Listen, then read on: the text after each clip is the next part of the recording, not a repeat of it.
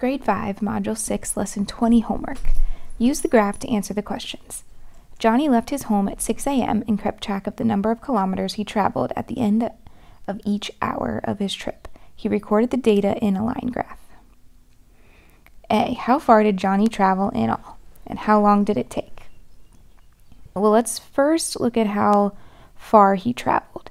So this y-axis here is the distance in kilometers that he traveled. So he starts right here, which is this mark marking right there. It's in between 2 and 6. So this is going to be 4. So he starts at 4 kilometers. And he goes all the way up here to this would be 20 kilometers. So the difference in those, if he started at 4 kilometers and went all the way to 20 kilometers, the difference there, he would have traveled 16 kilometers. And how long did it take? Well, he starts here at 7 a.m. And he's finished at 12 p.m. 7 a.m. to 12 p.m.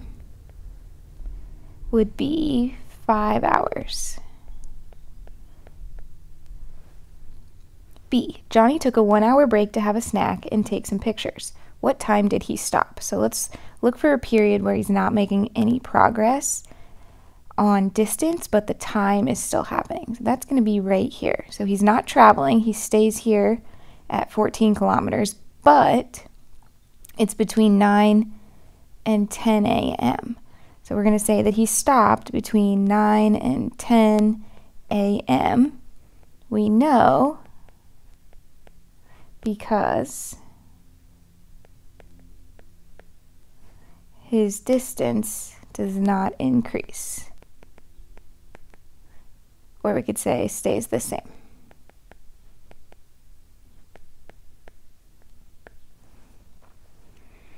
Did C, did Johnny cover more distance before his break or after? Explain. So we're looking for the distance before the break and after. So let's just look for before and then we'll find after. We're looking for distance. So the distance before the break is here, starts at 4 kilometers to 14 kilometers. So that's 10 kilometers. And then after it is 14 kilometers to 20, so that's 6 kilometers. So we would say that before, and I mean, you'd, we kind of already explained, but we could say he traveled kilometers before his break and 6 after.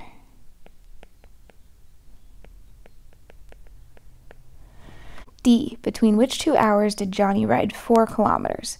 So we're going to look at the difference between the hours here. So between 7 and 8, he went from 4 to 8. So the difference between 8 and 4, that would be 4 kilometers. So between 7 and 8 a.m., he went 4 kilometers. Let's look at from 8 a.m. to 9 a.m. So from here to here, that's from 8 kilometers to 14 kilometers. So that difference is 6. So that's too far. Between 9 and 10, he didn't go any kilometers. Between 10 and 11, the difference here, that is between 14 and 18, so that would be 4 kilometers. So let's add 10 a.m. to 11 a.m. And the last one we need to check is 11 to 12. He only went 2 kilometers.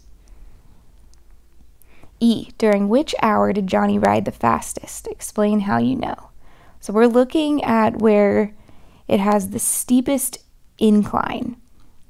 And when I'm looking at the graph, the steepest incline I see is right here where he's traveling the furthest in the shortest amount of time. So here he's traveling, let's see, one, two, that's six kilometers in just one hour. And that's between 8 and 9 a.m.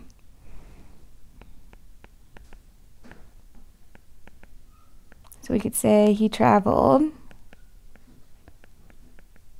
six kilometers. We know because that is where the steepest oops